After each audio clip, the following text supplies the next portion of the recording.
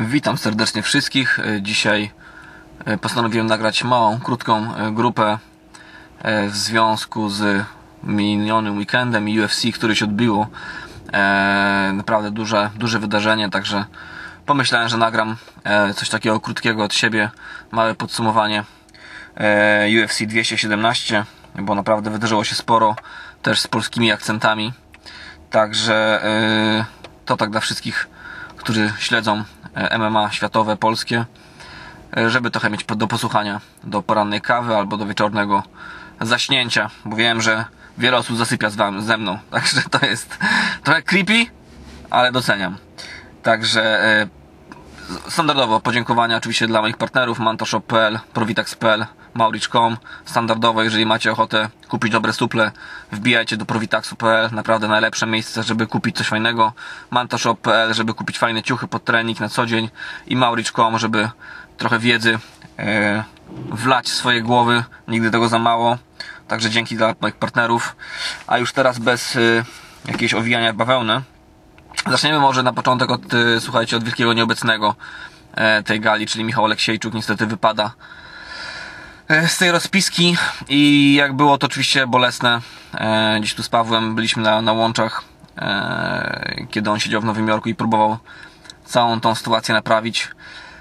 Jest to tyle, słuchajcie, bolesne, naprawdę, że ta karta była po prostu tak świetna, tak? I Michał nie dość, że stracił okazję debiutu w Madison Square Garden, co po prostu już samym w sobie było no, czymś niesamowitym i, i chyba no, mało osób potrafi sobie wymarzyć lepsze miejsce na debiut. To jeszcze ta gala po prostu była ekstremalnie udana, tak. Paweł jest oczywiście na miejscu, kombinuje jak może, ale ogromna, ogromna szkoda, naprawdę. E, tak jak mówię, tym bardziej, że ta gala no, przejdzie do historii jako jedna z lepszych e, w ogóle z lepszych gali UFC, jakie kiedykolwiek się odbyły, także szkoda. Znaczy, opowiem, opowiem tylko o karcie głównej, e, żeby to nie trwało za długo. E, Johnny Hendricks i Paulo Costa. Taka refleksja na początek, jak w poprzedniej grupie z chłopakami, e, z Pawłem, Wojkiem i e, Tomkiem gadaliśmy o, o starciu GSP e, z Bisbingiem. Pojawił się jakiś taki argument, że to dla, czy to taki argument pojawia się regularnie, że no GSP wraca po tych czterech latach i tak i nie wiadomo było e, jak będzie wyglądał, to przecież taka przerwa ogromna i, i no to w życiu fightera 4 lata to jest, to jest po prostu wieczność. I tak oglądając e, walkę Hendricksa, gdzie po prostu no, został zdemolowany przez młodego Kostę, pomyślałem sobie właśnie, jaka jest ironia, że George St. Pierre odchodził e, po no, praktycznie wielu, w oczach wielu przegranej z Johnem Hendricksem e, i te 4 lata miały być dla GSP po prostu czymś, e, no co już, że nie wróci tak dobry jak, jak był w tamtych czasach. I przez te 4 lata można powiedzieć gdzie no Hendricks był na swoim szczycie były to na, na jakby no najgorsze lata w, życiu Hendricksa i teraz na tej samej gali GSP wraca, wygląda fenomenalnie, a Johnny Hendricks jest po prostu cieniem człowieka w porównaniu do tego, co właśnie w walce z GSP te 4 lata temu prezentował. Jest to yy, no dosyć naprawdę smutna, no taka dosyć smutna historia, bo Hendricks to naprawdę był zawodnik no fenomenalny, tak, fenomenalny i yy, jego ostatnich parę walk praktycznie na 5-6 w ostatnich walk ma jedną wygraną i, i no praktycznie przegrywa nie tylko w ringu, ale też z samą swoją wagą. Wysyłanie fighterów na emeryturę to jest ostatnia rzecz, którą powinni robić dziennikarze, ale myślę, że po prostu naprawdę Hendricks powinien dla własnego zdrowia przemyśleć, czy chce kolejny raz ciąć wagę i kolejny raz na takim odwodnieniu, wyniszczeniu przegrywać walkę, szczególnie w taki sposób, jak to miało miejsce teraz, czyli no potworne, po, po potworne zbicie. Ja wiem, że Hendricks ma coś w sobie, tak? W tej pierwszej rundzie było widać, że potrafi się odgryźć nawet tak młodemu, zdolnemu fighterowi jak Costa i gdzieś tam podjąć rękawice. No ale myślę, że naprawdę czas Hendricksa minął i, i te 4 lata, które widać GSP wykorzystał na no bardzo dobrze, tak, będąc w treningu, odpoczywając i, i gdzieś sobie używając życia. E, no dla Johnego to był to była po prostu równia, równia pochyła i no od walki przegranej z Lawlerem, które, które były praktycznie tuż po, po walkach właśnie z GSP, no to już e, nie jestem sam zawodnik i, i jestem, no byłbym bardzo zdziwiony, jeżeli UFC da mu kolejną szansę. E, I tak sobie może bardziej dla jego zdrowia to powinien być już koniec jego kariery, bo naprawdę smutno patrzeć, że takie legendy, zresztą o tym też mówiliśmy, tu Paweł podnosił, że, że patrzeć na przegrane takich postaci jak, nie wiem, Lyoto Machida, czy teraz Johnny Hendricks, którzy naprawdę zas zasłużyli się dla tego sportu, jest po prostu smutno, jeżeli no, rozmieniają się trochę na drobne i no nie są już sobą, po prostu nie są sobą i, i oglądanie ich jak są rzucani na pożarcie młodym lwom. E, myślę, że, powinni sobie sami tego oszczędzić. A Paulo Costa, zawodnik, on bodajże ma 25, 26, coś takiego lat. E, no, jeżeli chodzi o muskulaturę i wygląd, na pewno prezentuje się w top, w top 10 UFC. Myślę, że jeżeli nie uda mu się wywalczyć czegoś w UFC, no to mod kariera modela zawsze zostaje e, do gry. No wyglądał fenomenalnie, ale no cóż, na tle Hendricksa w tym momencie w sumie to ciężko trochę ocenić, czy to jest e, czy to jest zawodnik, który naprawdę z którego coś jeszcze będzie, z którego coś będzie, czy po prostu no, trafił na, na Johnego, który już dużo nie daje. Na pewno wygląda dobrze, obiecująco. 11, 11 zwycięstw, 0 przegranych w zawodowym rekordzie, no to nie bierze się znikąd. E, także na pewno warto tego gościa obserwować i e, miło się patrzy, bo naprawdę siła jego ciosu, precyzja, opanowanie w tej walce było e, no naprawdę godne, godne podziwu.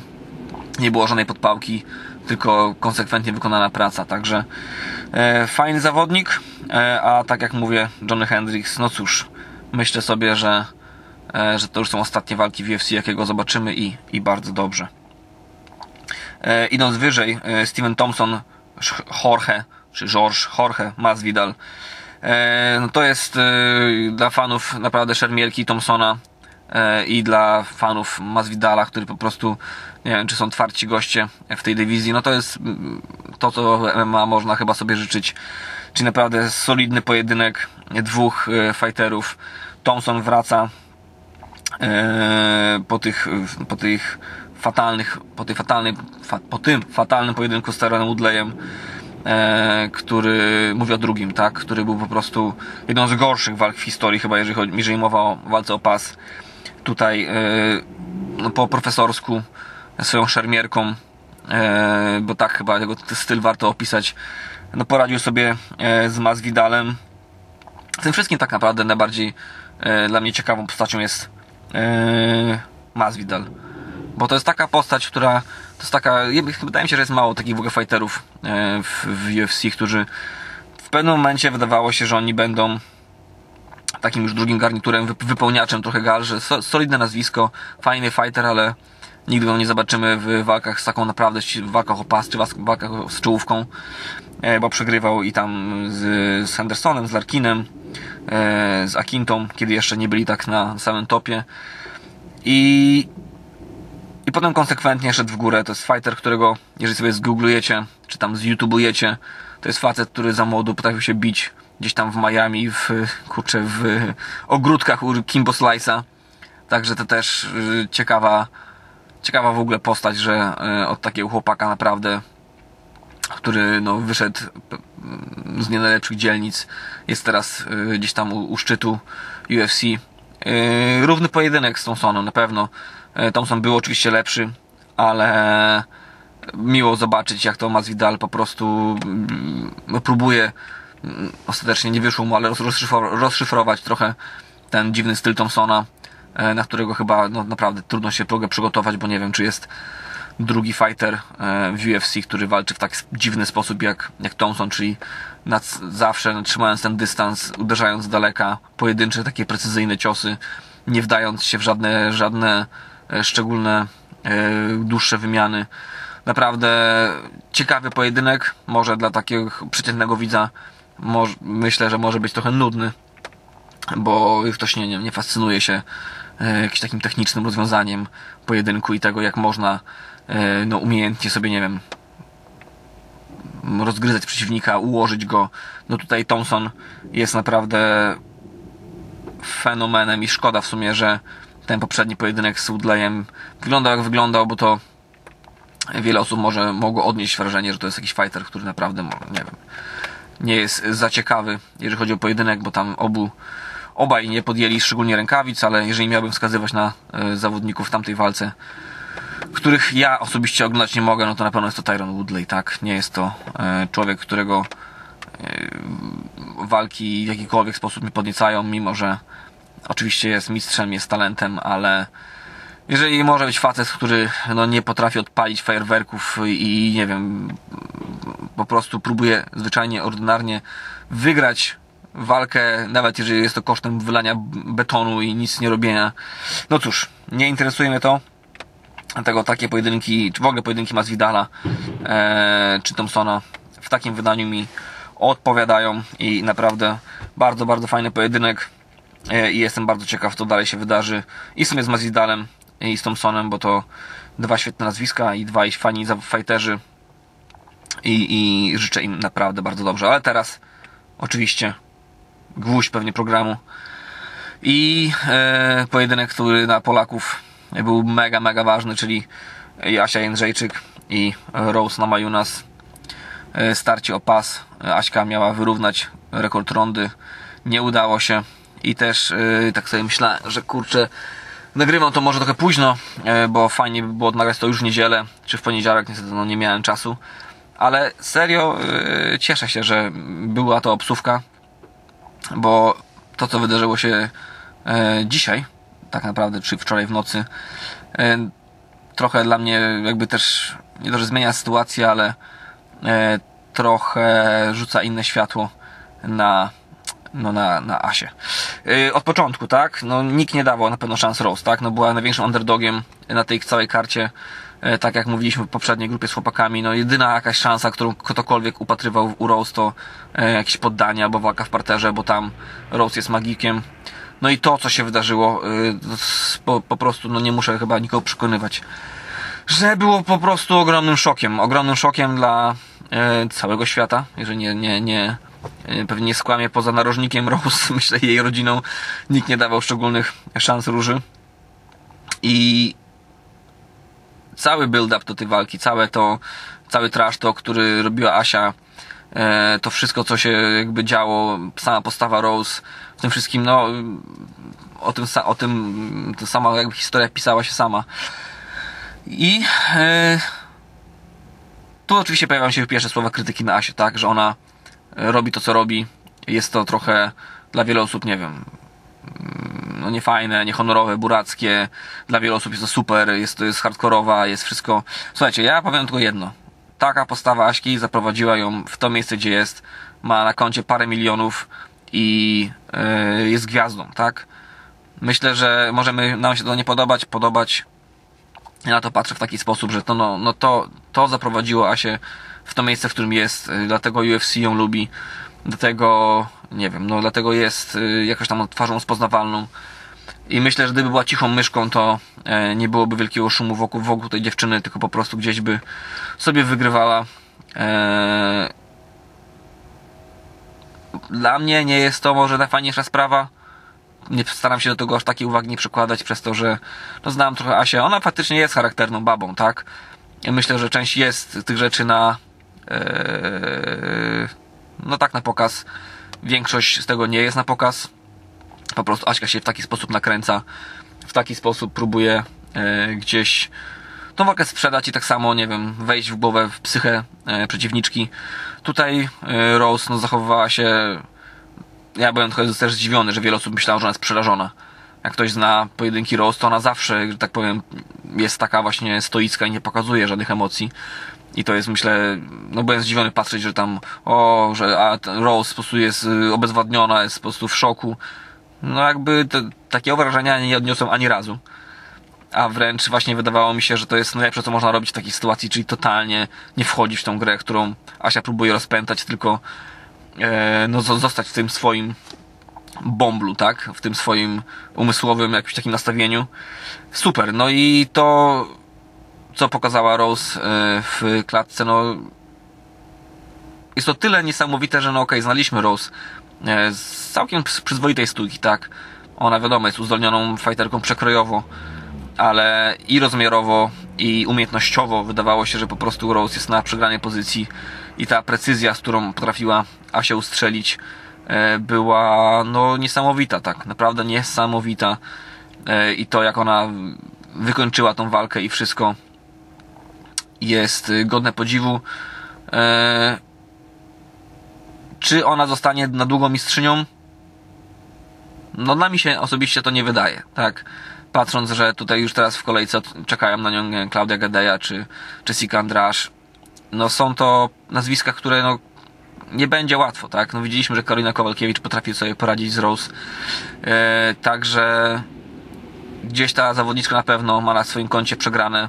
Widzieliśmy ją e, no jak, y, jak jej ręka nie idzie w górę podczas walki, także jest taka śmiertelna, że tak powiem. No ale e, jako od, od lat fan Rose jestem bardzo, tak naprawdę cieszę się, że udało jej się ten pas zdobyć, bo znając ich, ich historię tej zawodniczki, ciężkie dzieciństwo i całą tą drogę, naprawdę e, no gratuluję jej z całego serca, że e, udało się ten pas wywalczyć, nawet jeżeli jest to kosztem pasa Asi, tak, który musiała oddać.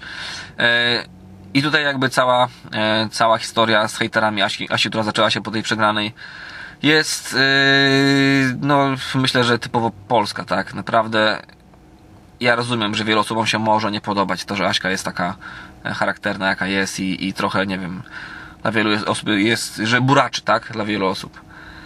Ale no takie klasyczne polskie deptanie ludzi, którzy przegrali, mimo że, no nie wiem, tyle lat, już teraz lat, tak, Asia cieszy nas e, i promuje w ogóle to polskie MMA, tak, myślę, że naprawdę Aśka na swoich plecach, no, wyciągnęła sporo, no, roz, rozpowszechniła w MMA w Polsce, e, no, w sposób, który myślę, że ostatnia osoba z takich Polaków walczących za, za granicą to Paweł na stula, tak, że naprawdę e, szkoda, że teraz to wszystko wygląda w taki sposób i jakoś tak trochę ludzie nie potrafią, no nie wiem, no po prostu powstrzymać się chyba, tak. E, Okej, okay, Asia nie wyglądała w tej walce najlepiej, zachowywała się jak zachowywała wcześniej, można mieć do tego podejście różne, ale kopanie leżącego jest to po prostu słaba akcja.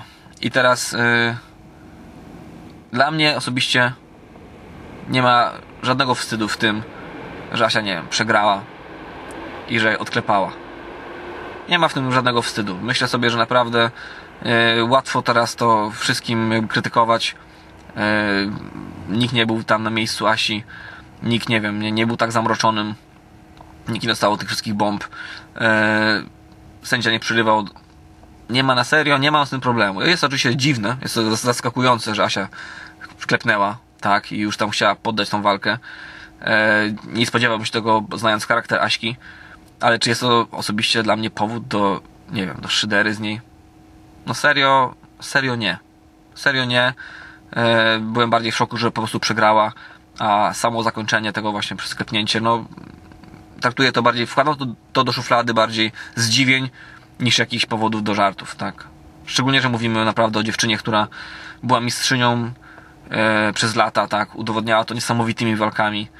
To nie jest przypadek Rondy Rousey, która tam po prostu miała e, jedną technikę, jedno mocne uderzenie i potem to wszystko się rozsypało. To Asia jest naprawdę od lat mistrzynią czy Muay Thai, czy teraz w, w UFC.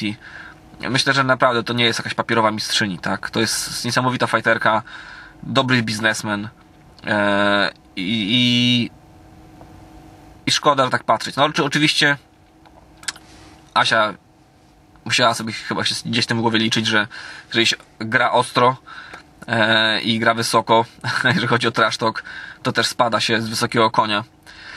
Ale e, tak czy siak jest to no, dosyć, dosyć niefajne, tak, niefładne, ale e, dlaczego powiedziałem na początku, że cieszę się, że miałem taki mały delay, jeżeli chodzi o nagranie tej krótkiej grupy, bo myślę sobie, że Asia popełniła wczoraj jedną z największych takich wizerunkowych, jakichś takich błędów, które można zrobić po walce. Tak jak e, zachowała się super na konferencji prasowej, biorąc to wszystko na klatę.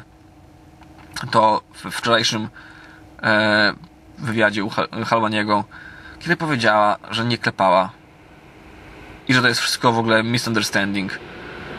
To jest naprawdę tak dziwne, tak dziwna decyzja z jej strony, żeby brnąć e, w, no w zaparte, tak? No, no chyba nikt nie miał, nikt poza nią nie miał chyba e, wątpliwości, że Asia tam naprawdę odklepała. I tak jak mówię, ja z tym nie mam żadnego problemu, tak? Nie mam z tym problemu. Sam nigdy nie leżałem mm, gębą na macie. Nie wiem jak to jest przegrywać e, w taki sposób. E, nie wiem, być w takim szoku. I, I w tym nie ma żadnego wstydu, tak? Wchodzimy do walki, każdy może przegrać. Każdy może przegrać, tak? No tak wygląda ten sport. Ale iść w zaparte, że to nie było klepanie, że ona próbowała wstać, jest po prostu tylko wodą na młyn. I trochę wytrąca w ogóle miecz w walce z hejterami, tak? Naprawdę, bo ciężko jest jej bronić w takim momencie. E, mimo, że nadal to będę robił, tak? Bo naprawdę i tak wydaje mi się, że nie zasługuje na krytykę, ale na pewno jest to po prostu jest to po prostu, no nie wiem jak to nazwać, może nie zmieni, jakby nie zaklnie rzeczywistości, która się odbyła. W tej walce na pewno Asia klepała. Na pewno, było to po prostu, no, każdy to widział. I e, ta decyzja ze względu takich właśnie, nie wiem, PR-owo, wizerunkowych, czy po prostu jakichś takich, nie wiem, fightersko-ludzkich, jest to dla mnie zaskakujące e, i na pewno nie przysporzy jej fanów, a wręcz e, skazuje ją trochę na śmieszność. I to jest chyba w tym wszystkim najgorsze. Że po prostu będzie teraz e, no, przedmiotem żartów i jej coś, co może dla wielu nie było wielką sprawą, to wyklepanie teraz stało, nie stanie się sprawą. Nawet dla mnie to się w tym momencie staje takim na serio? Na serio? Nie klepałaś? Jak w ogóle, jak w ogóle o tym teraz rozmawiać w inny sposób niż trochę robiąc sobie z tego żarty? Nie rozumiem tego i yy, no ale cóż, no słowo się rzekło, poszło to w świat i teraz Asia będzie musiała yy, się z tym pewnie mierzyć przez najbliższy, długi, długi czas i, i no i trochę szkoda. No dobra, zobaczymy co z tego wszystkiego się e, naważy.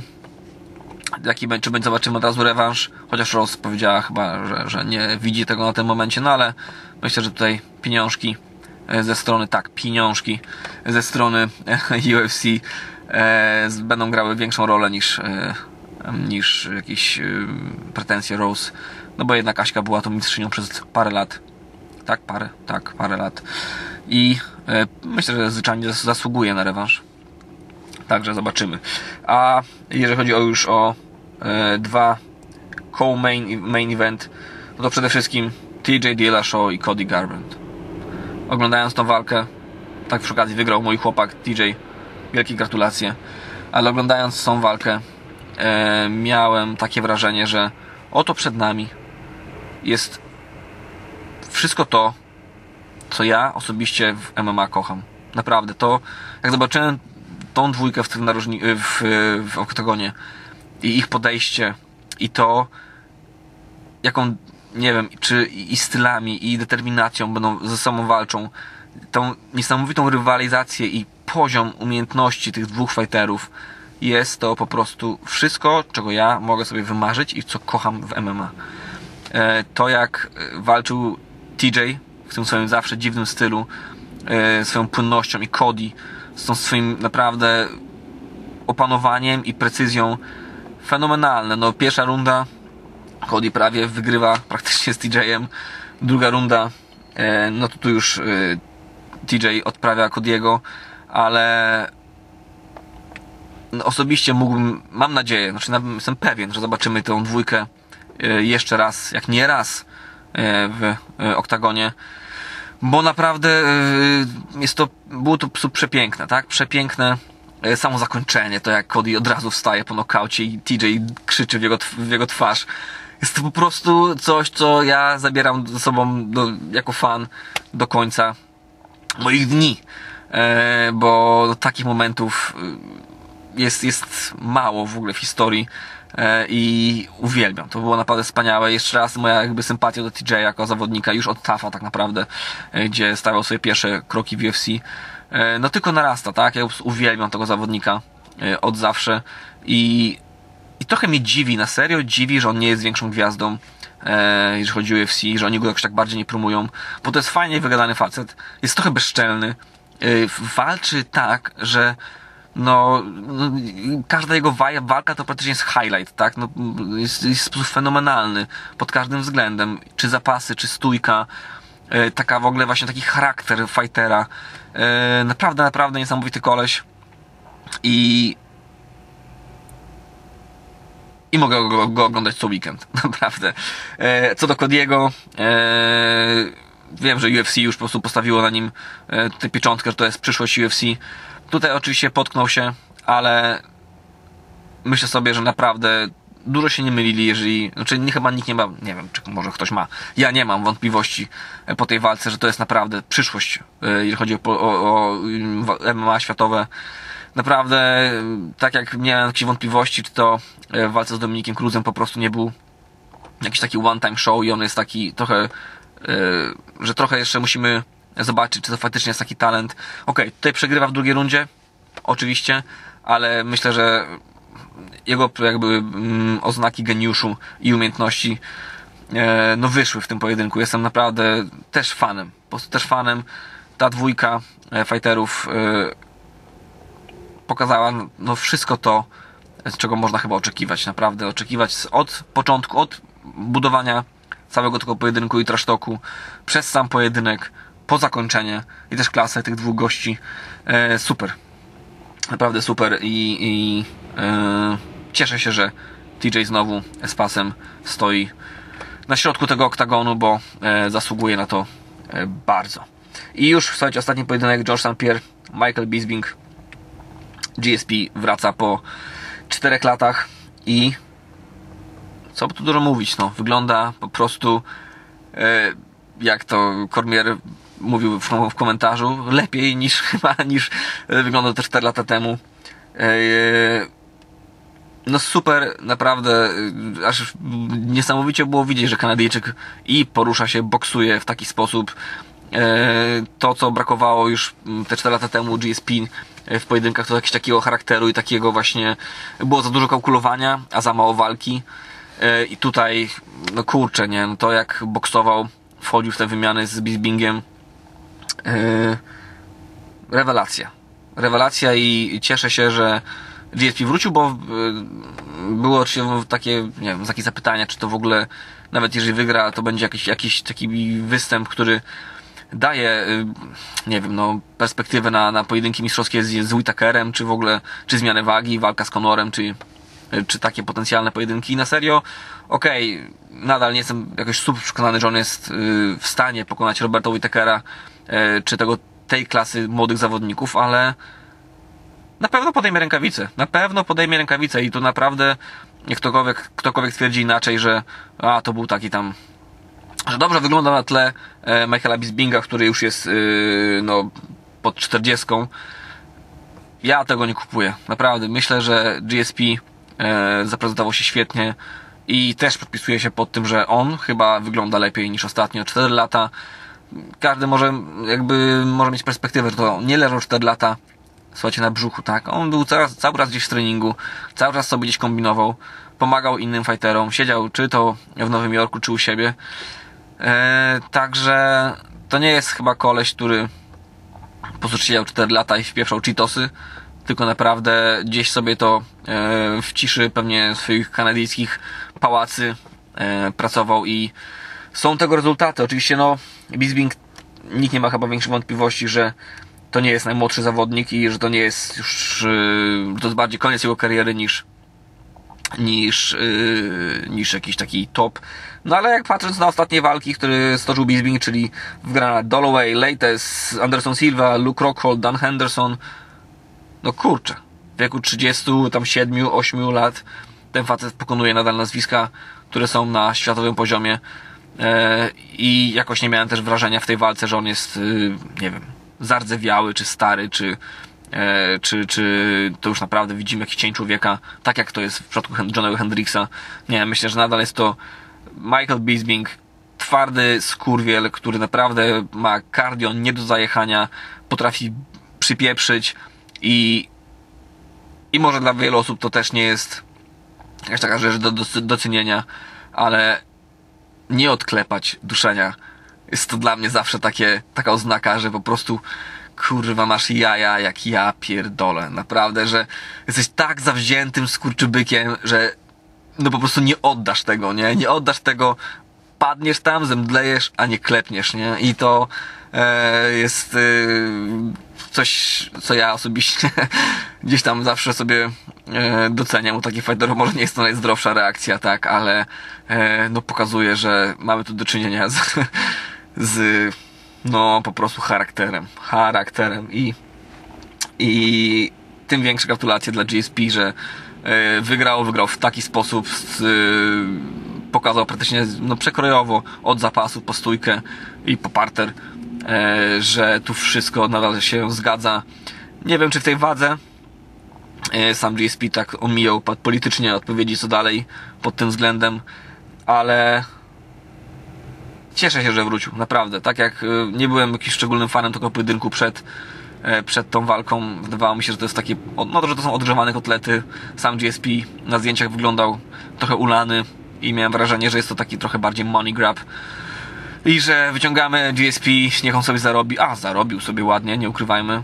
E, Ale nic z tego nie będzie, to po tym pojedynku bije się w pierś, chylę czapkę i naprawdę trochę teraz z niecierpliwością czekam, co dalej zobaczymy z tym zawodnikiem, bo tak jak tych parę lat temu byłem jego wielkim fanem, to teraz e, trochę ta dusza fanboya e, no wraca, naprawdę wraca, bo e, jest to jeden z tych fighterów legend, żywych legend, które e, zawsze mogę oglądać.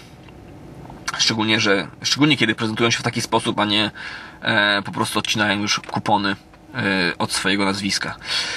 Okay, także e, to tak krótko z mojej strony. E, mam nadzieję, że e, uda mi się nagrywać tego typu podkaściki trochę częściej. E, tak tylko krótko pogadać sam do siebie i do Was e, i umilić Wam chwilę w pracy, chwilę przy kawie, chwilę w samochodzie, chwilę na bieganiu, chwilę przed snem. E, także dzięki. Dzięki jeszcze raz moim partnerom, mantashop.pl, provitex.pl, mauricz.com i pozdrawiam Was serdecznie. Ciao!